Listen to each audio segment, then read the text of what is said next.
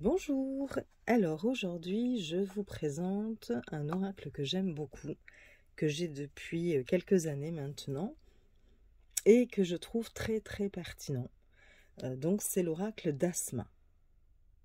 Donc là il y a écrit l'oracle d'Asma dévoile ses secrets et c'est d'Asmae Calvé. Bon, la boîte est déjà un petit peu abîmée hein, parce que je l'ai quand même pas mal utilisée. Donc voilà, donc derrière, cela vous dit, si j'arrive à lire, parce qu'alors vraiment, c'est euh, l'écriture comme ça, dorée sur du noir, ce n'est pas évident. On vous dit, l'oracle d'Asma est un outil divinatoire qui vous permet de communiquer avec vos guides célestes. Il comporte 60 cartes et s'adresse à tous, amateurs et professionnels. Le symbole des cartes a été conçu afin de protéger l'oracle et la personne qui l'utilise. Donc c'est vrai qu'il y a l'œil d'Horus qui est représenté sur le recto de chaque carte. Son utilisation régulière développe votre connexion à vos guides, votre clairvoyance et votre intuition. Voilà, bon, c'est une box donc ça s'abîme euh, assez rapidement. Voilà, donc les cartes. Le dos se présente ainsi. Voilà. Au niveau de l'épaisseur, c'est souple mais euh, quand même solide. La taille par rapport à un tarot classique, voilà à peu près la, la différence. Alors, vous avez 60 cartes, effectivement, mais vous avez avant ça 20 cartes supplémentaires. Sur ces 20 cartes supplémentaires, vous avez 16 cartes d'interprétation. Donc, vous avez euh, quelques phrases pour chaque carte. On vous dit aussi si euh, la carte a plutôt un sens positif ou négatif, entre parenthèses. Voilà. Et donc, voilà, vous avez quelques lignes pour chaque, euh, chaque carte du jeu. Et ensuite, vous avez quatre cartes supplémentaires avec des tirages de proposés. Par exemple, là, c'est un tirage avec un domaine ou une personne que vous pouvez mettre au centre. Vous prenez la carte qui, pour vous, représente ou la personne ou le domaine sur lequel euh, vous avez des questions. Et ensuite, vous allez avoir euh, six cartes autour. Donc, la première, ce sera la situation présente. La deuxième, la situation future. La troisième, ça fait ressortir les aspects positifs ou négatifs qui en découlent. Et les 4, 5, 6 donnent le résultat. Et on peut recouvrir deux fois. Vous avez une méthode de 7 cartes. Euh, voilà, un tirage en ligne, 7 cartes aussi. Un tirage avec 5 cartes. Et un autre, c'est le tirage en croix classique que l'on retrouve souvent euh, avec les oracles ou les tarots. Voilà, je vous lirai quelques peut-être interprétations rapidement euh, de, deux ou trois cartes, ou peut-être qu'on fera un petit tirage, on verra. Alors, vous avez la naissance. J'aime beaucoup les couleurs de, de cet oracle.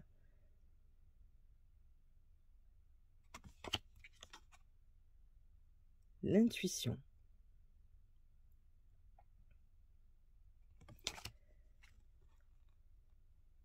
La sociabilité.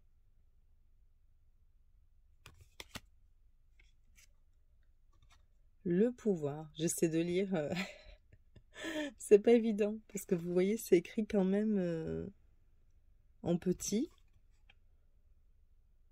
Tout petit. Ensuite, la sagesse.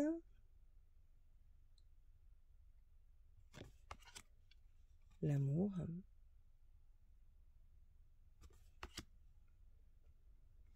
Mutation.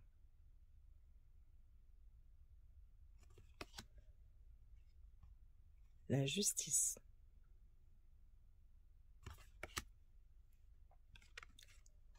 L'isolement.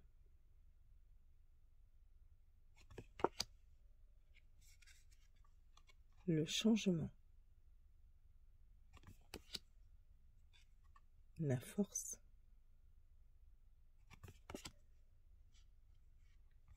Sacrifice.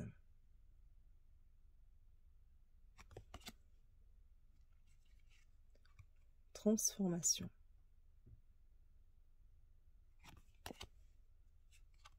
Équilibre. Désir.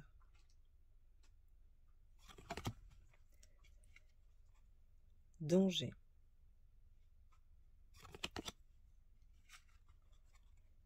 Protection. La tristesse.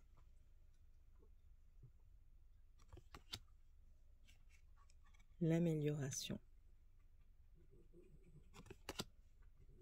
Satisfaction. C'est mon, mon chien que vous entendez à côté. Clé.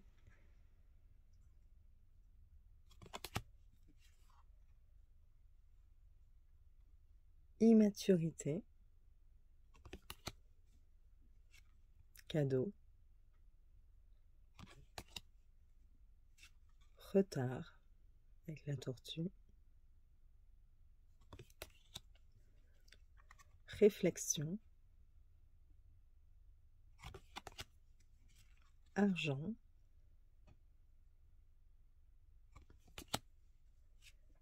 Travail.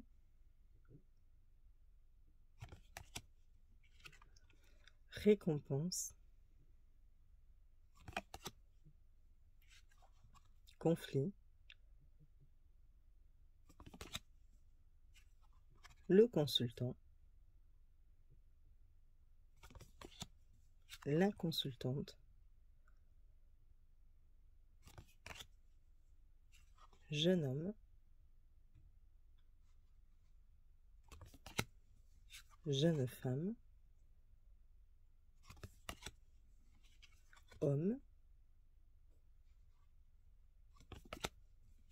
Femme.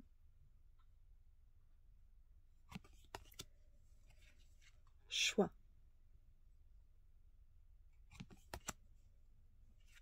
Médisance.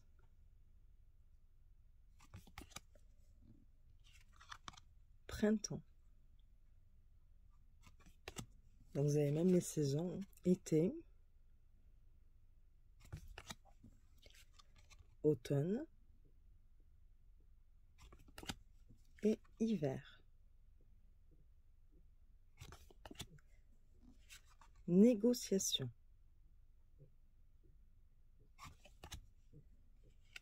Maison. Maladie.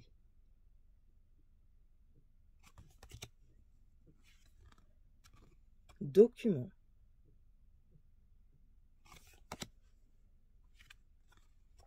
Nouvelle.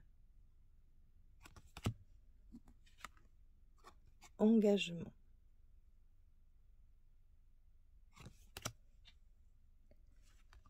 Instabilité. Occulte.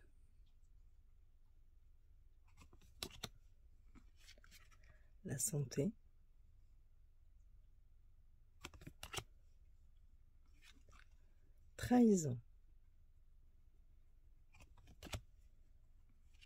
Plaisir.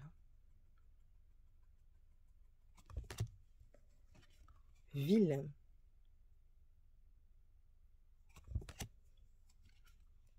Union.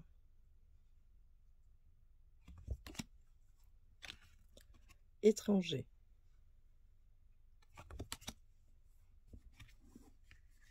Concurrence. Vous voyez, par rapport au titre des cartes, on n'a pas forcément besoin de, lire les significations. Hein. On peut laisser marcher son intuition, euh, faire soi-même les, les, associations entre les cartes. Mais bon. Lien céleste.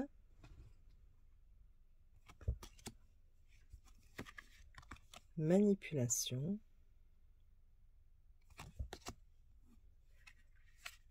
Séparation.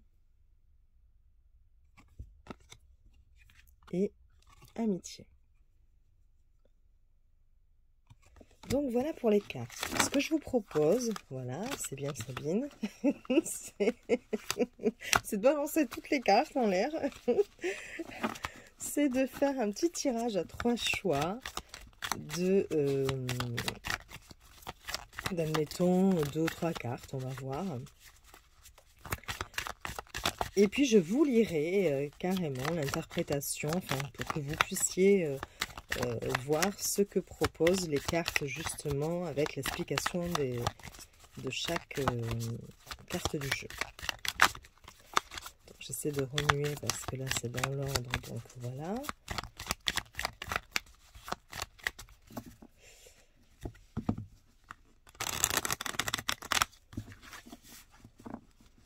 Elle se remue très bien, enfin, se mélange très bien.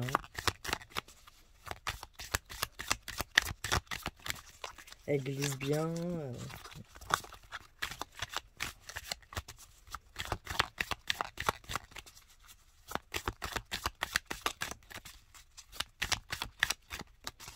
Alors, je vais étaler les cartes et je vais choisir trois cartes pour le tas numéro 1, trois cartes pour le tas numéro 2. Vous pouvez penser à une question ou une situation ou vous prenez le message qui vous vient tout simplement. Trois cartes pour le tas numéro 3. Voilà. Si jamais on avait besoin de précision, on prendra une carte supplémentaire. Et je vous laisse faire donc votre choix entre les trois tas. Vous pouvez mettre pause. Et nous allons commencer à regarder le tas numéro 1. Alors, la première carte, nous avons la manipulation. La deuxième carte, les nouvelles, mais à l'envers. Donc, on verra s'il y a un sens à l'endroit à l'envers. Et la troisième, les documents, pareil, à l'envers. Donc manipulation, des nouvelles et des documents.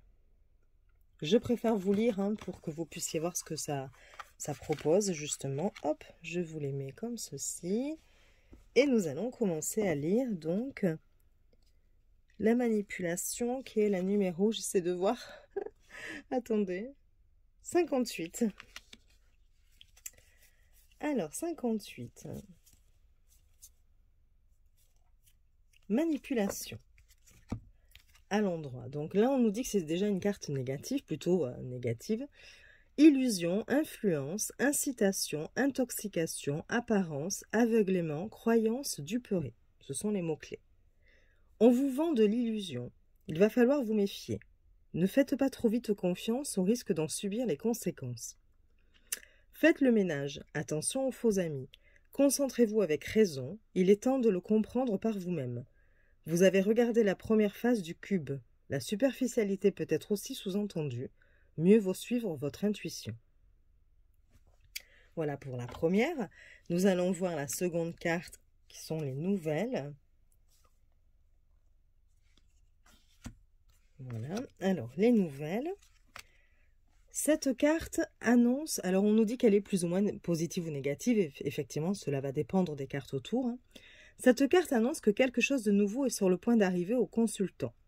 C'est une réponse à une attente ou à une question, l'éclaircissement d'une situation par un message oral, visuel ou écrit. Les cartes voisines indiqueront si les nouvelles sont bonnes ou mauvaises. Donc là, on peut déjà se dire que l'association des deux nous, dirait plutôt que les nouvelles ne sont pas forcément euh, bonnes. Voilà. Et ensuite, on a document. Donc là, on nous dit pareil, plus ou moins positive ou négative, cela dépend des cartes autour. Cette carte annonce que quelque chose de nouveau est sur le point d'arriver au consultant. Donc je suis en train de vous relire un nouvel. je suis désolée. Alors, document. Donc quand même une carte neutre, c'est-à-dire plus ou moins négative ou positive. Alors, cette carte symbolise tout ce qui concerne les papiers et démarches à effectuer. Elle annonce d'éventuelles démarches administratives ou des examens, des concours, tout ce qui nécessite des écrits et des papiers officiels. Voilà, donc vous allez avoir des nouvelles concernant peut-être euh, une attente que vous aviez concernant des, des enfin, à propos de, de papier ou d'une inscription à une école ou à un examen, un concours, peut-être des démarches administratives. Mais on vous dit attention avec la carte de la manipulation. il va falloir quand même que vous soyez, comment dire, prudent. Voilà. Faire attention qu'on ne vous vende pas de l'illusion, qu'on ne vous fasse pas miroiter des choses par rapport à peut-être à ce concours ou, ou cet examen en vous disant cela va vous donner ci, cela va vous donner cela, ou, ou pareil concernant peut-être des, démarches administratives. vous pensez peut-être que suite à ces démarches, vous allez peut-être obtenir quelque chose et on vous dit attention, c'est peut-être pas ce que vous pensez ou voilà. Après, à vous de l'adapter, évidemment, en fonction de, votre question, de votre situation. Euh, voilà. Donc, voilà ce que proposent déjà les, les, euh, les explications de cartes. Nous allons passer au choix numéro 2. Alors, nous avons la concurrence, les médisances et la maison à l'envers. Alors, concurrence, je vous les montre quand même. Médisance et maison à l'envers. On va les étaler et regarder la signification des cartes. Alors, pour la concurrence, on nous dit cette carte représente la dualité, la compétition, la bataille. Soyez vigilant. Elle indique qu'une personne souhaite le même objectif que vous, quelque chose que vous aimeriez atteindre. En faisant des efforts, vous réussirez. Ça sera à vous de vous lancer, de conquérir un espace. Faites des efforts, allez-y, combattez et vous réussirez. La force doit être douce et non violente pour vous apporter ce que vous attendez. Excusez-moi. Ensuite, les médisances. Alors, on nous dit que c'est une carte plutôt négative, les médisances. La concurrence aussi, hein. c'était plutôt, voilà, connotation négative. Alors, les médisants. Cette, cette carte symbolise l'hypocrisie, les commérages, la méchanceté, le dénigrement, l'indiscrétion, la jalousie, mais aussi la mauvaise foi, l'antipathie, la médisance et les propos infondés. Les cartes voisines indiqueront d'où proviennent ces commérages. Et nous avons la maison à côté. Donc là, on nous dit que c'est une carte plutôt positive. Elle symbolise la maison et tout ce qui s'y rattache, donc le logement, la famille, l'intimité, le refuge, la filiation, une équipe, mais aussi le confort et le bien-être, le cocon, la protection, le ressourcement, la sécurité, le réconfort et la tranquillité. Bon, alors, soit vous avez effectivement une personne euh, au sein de votre famille qui vous jalouse et euh, qui peut du coup un petit peu parler derrière votre dos. Mais la maison à l'envers euh, peut aussi représenter quelque part une entreprise. Une entreprise où, euh, où, vous, aviez, où vous avez un CDI, à l'intérieur de laquelle vous avez un CDI, d'où le, côté un petit peu euh, confort.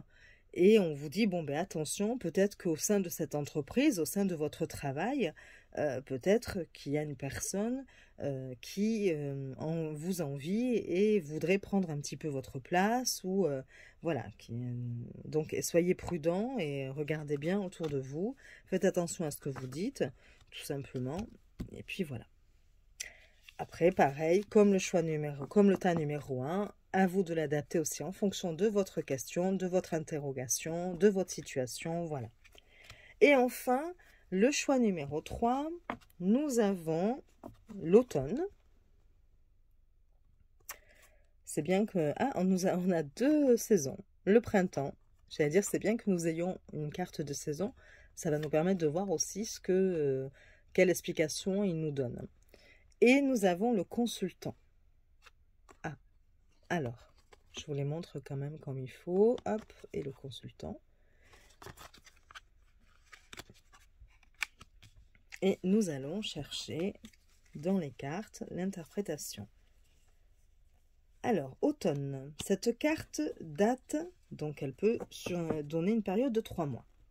Elle représente aussi la nécessité du renouvellement. Il est temps de raviver le domaine en question. Sinon, une certaine routine se fera ressentir dans le futur. Cette carte décrit aussi une personne routinière, voire déprimée. Vous avez ensuite le printemps. Donc cette carte, pareil, peut donner une période de trois mois. Le printemps représente la campagne, les espaces verts, la nature, les terres, la beauté, le soleil. Elle indique une situation ou une période florissante et enrichissante pour des investissements ou des achats effectués par le passé. Elle représente aussi une personne intelligente, raisonnable et logique. Et enfin, le consultant. Cette carte représente le consultant. S'il s'agit d'une consultante, elle représente un homme important dans la vie de la consultante, donc son époux, son amant, son frère, son père, etc., etc. À vous de voir par rapport à votre question. Donc là, effectivement, on peut se dire qu'il euh, y a plusieurs possibilités. Soit on nous parle d'un homme, donc soit vous-même, soit un homme qui fait partie de votre vie, on vous parle d'un homme et on peut donc ici se dire qu'on nous donne un petit peu les traits de caractère. Si on a demandé comment est cette personne, eh bien on voit qu'elle a peut-être un petit côté euh, routinier, qu'elle peut parfois euh, tomber assez rapidement dans une sorte de petite déprime. Et en même temps, avec la carte du, euh, printemps, on nous donne aussi comme trait de, caractère c'est une personne intelligente, qui est raisonnable et logique. Voilà. Donc on peut tout à fait se contenter de ça en fonction de ce que l'on a demandé.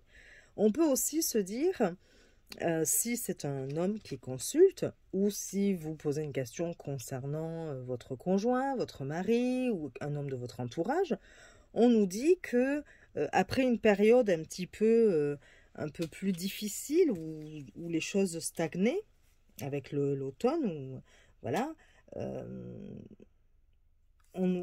que cette personne a besoin de se renouveler. Et effectivement, avec le printemps, euh, eh bien, on nous dit qu'actuellement, parce qu'on peut se dire qu'ici, ça serait plutôt le présent, euh, actuellement, il est plutôt dans une période, après avoir connu une période un peu stagnante ou routinière, il est dans une période plutôt enrichissante, florissante, où il va pouvoir avancer, et voilà. Après, vous pouvez tout à fait aussi euh, recouvrir, euh, mettre une carte supplémentaire. Je suis désolée, je bafouille. Hein. et euh, voilà, pour avoir un peu plus de précision. Euh, si vous avez demandé euh, comment va évoluer ma relation avec euh, mon conjoint ou des choses comme ça, pareil, on peut vous dire qu'il y a eu une période un petit peu plus routinière où peut-être qu'il y avait un peu d'ennui dans la relation, ça ne bougeait pas trop. Et puis, eh bien, après, il y a comme un éveil, quelque chose qui vient renouveler un petit peu la relation et lui donner de nouveau un petit élan. voilà. voilà. C'est à vous de voir en fonction de, votre question, de votre situation, du contexte. Euh, voilà, écoutez, ben, j'espère que ça vous aura un petit peu éclairé sur ce que les cartes proposaient comme interprétation. Euh, parce que je trouve que c'était important de, voir aussi euh, ce, que ce que ça peut proposer, parfois en fonction des oracles. Et puis, ben, vous pouvez me dire en commentaire ce que vous pensez de ce jeu, si vous le connaissiez déjà ou pas. Euh, et puis, ben, si, euh, si vous le connaissiez, comment vous le trouvez. Euh, voilà. Je vous souhaite une bonne journée. Je suis désolée pour les petits cafouillages. J'ai un peu de mal à m'exprimer aujourd'hui. Et puis, je vous dis à très vite pour de, de nouvelles présentations. Des bisous